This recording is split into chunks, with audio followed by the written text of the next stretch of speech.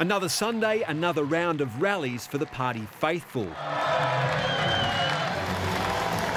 And another stage invasion by an anti-coal crusader. Climate emergency, we need to stop it dying. As the Prime Minister returned to his plan to cap immigration at 160,000 and limit the refugee intake to 19,000 a year. You run it too hot, you put all of that at risk. And Bill Shorten made another multi billion dollar promise. To make sure that we spend more money helping people with the cost of childcare. Labor is pledging $4 billion to cut childcare costs for nearly a million families.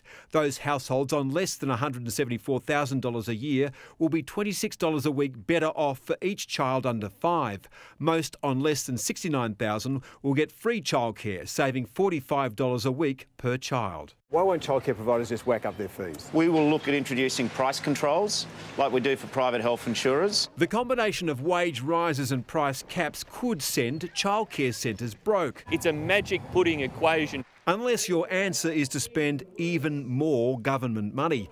Another half billion dollars was pledged to lift the wages of early childhood educators over four years, with the aim of a 20% pay rise over a decade by around $11,300 on top of any increase in the award rate. By then, the cost to the budget will be a staggering $10 billion. Then another $2.5 billion was pledged to buy $1,000 worth of dental care every two years for older Australians.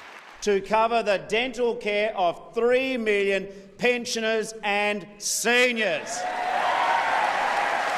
And so far, Labor refuses to say how much more it's raising in taxes over the next decade to pay for all these promises. The government says $387 billion. What's your figure? Well, we'll release our figures before the election's concluded. Which leaves the opposition leader wide open to a government assault on his big taxing, big spending plans. Bill Shorten doesn't know the cost of anything, and I'll tell you why. Because he doesn't pay for it, you do. Bill Shorten believes the majority will back him. We'll know if he's right in 20 days. Nine's political editor Chris Uhlmann joins me from Canberra. Chris, some Australians will be casting their votes from tomorrow and they won't know how Labor is doing the math on its policies. Yes, Pete, pre-poll voting does begin tomorrow, which is why Labor is dumping out big plans today, and all will be written into the books forever and the costs borne by future taxpayers which is why the government's best line is to attack the billions that Labor needs to raise in taxes. But Bill Shorten has made a big bet. With wages flat, most Australians want more direct government assistance, and that most know they won't bear the cost. That will largely fall on people on higher incomes. In the short run, he's banking on the old saying in the race of life, always back self interest.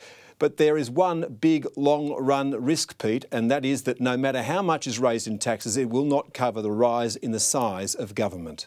Chris, thank you.